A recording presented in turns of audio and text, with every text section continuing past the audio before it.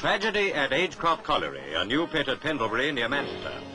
One man is killed and 12 injured when they are trapped at the bottom of a 1900-foot shaft by an underground explosion. The victims are not miners, but construction workers who've been sinking new shafts for the National Coal Board.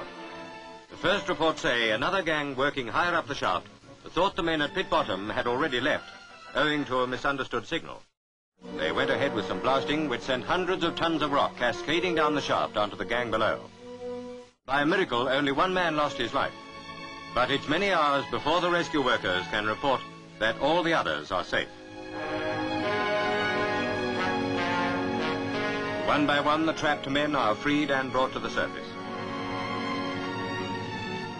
The survivors have not only the rescue team to thank, but also the valiant work of the medical staff, especially the coal board's Dr. John Lockie, who spent four hours at pit bottom ministering to the injured.